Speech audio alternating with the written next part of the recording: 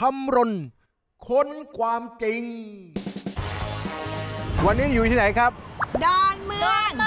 ดอนเมืองดอนเมือง มาจากที่ไหนคะ ประเทศพม่าอ่า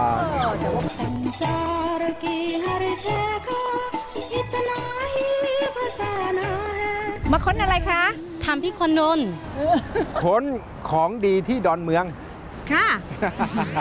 เมื่อวันที่ 10 เดือน 10 ที่ผ่านมา ณสำนักงานของดรไพโรธรื่นวิชาที่ดอนเมือง มีพระสังฆราชและประธานสงฆ์10 พระองค์จาก 10 ประเทศ เดินทางมาร่วมบุญเจริญพระพุทธมนต์เพื่อหารายได้ช่วยกันสร้างโรงพยาบาลวัดสมานรัตนาราม ที่จังหวัดฉะเชิงเซาในการนี้พระสังฆราชและประธานสงฆ์ของเมียนมา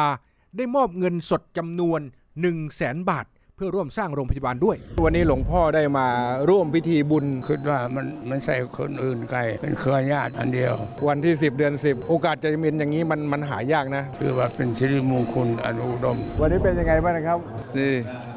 ดีดีมากมากเลยสวดมนต์พุทธาพิเศษกชนะสิบทิศอ๋อใช่ใช่ใช่ใช่ชนะทั้งหมดแล้วสิบทิศท่ามกลางพุทธศาสนิกชน ที่มาร่วมงานขับข้างสังฆราชของ 10 ประเทศช่วยท่านนะฮะตกใจเหมือนกัน จะเป็นไปได้ยังไง ดีใจแล้วก็ปลื้มใจไปในสุดโรงพยาบาลวัดสมานรัตนารามนั้น จะได้รุ่ร่วงเปิดได้ทันในปี 63ค้นไปค้นมาจนรู้ว่าวันที่ 10 เดือน 10 สังฆราช 10 พระองค์มาอยู่ร่วมกันนี้ สร้างบุญบารมีให้เกิดขึ้นอย่างมากมาย อ๋อ มันเป็นอย่างนี้นี่เอง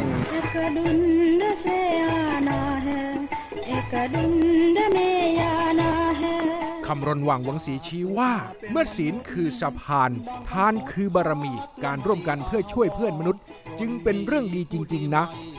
จะบอกให้ก่อนถึงวันสิ้นลมปราณ